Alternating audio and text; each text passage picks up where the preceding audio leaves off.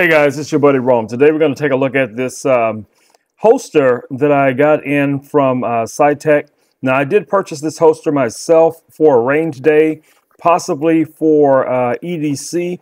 So let me show you guys what comes in the box. Very simple packaging. You're just going to get the holster itself. Now one of the things that I usually look for in a holster is, especially if it's something that's going to be uh, outside of the waistband, is this pad or some type of pad system that's going to allow for some type of comfort. I usually also check for the shape of the pad because that's going to give me an indication how well this is going to contour to the body. Now this one is adjustable. It has a little ratcheting system. I don't know how well you guys can see that.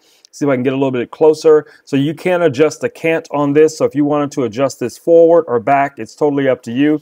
It does have a safety feature built into it which is this little uh, index finger depress, uh, depression button here.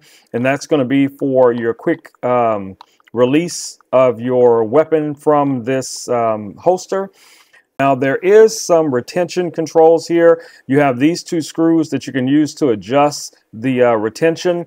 This is a light bearing holster, so you will be able to run this uh, you know, with the uh, two different lights that they recommend for this. One is going to be your TLR1 or your TLR2. Those are the lights that are recommended for this holster. So if you're running one of those lights, you're going to be pretty much on par with exactly what you need.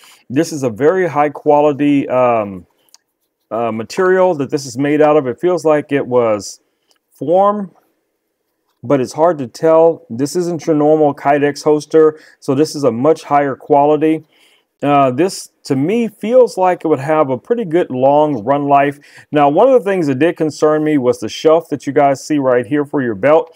This looks to me more like it's designed for a competition belt or a duty belt, something like that. Not as much as a everyday uh, type of belt that a person would wear. Say an inch and a half belt. This might be a little bit of a problem because you know you're going to have a lot of play in this area here when this would move up and down. But other than that, uh, I think this would be a great holster for a lot of people, especially like I said for range days. Um, this one is a right side, right hand holster. Uh, I do believe you can also get this in a left-handed uh, uh, orientation. But in a nutshell, uh, I'm going to be testing this out at the range. Uh, maybe I'll do another uh, video on this showing you guys how um, or giving you some insight on how I feel about it over time. And this little screw that you guys can see in here, this is the one that you're going to loosen up to adjust the cant on this holster.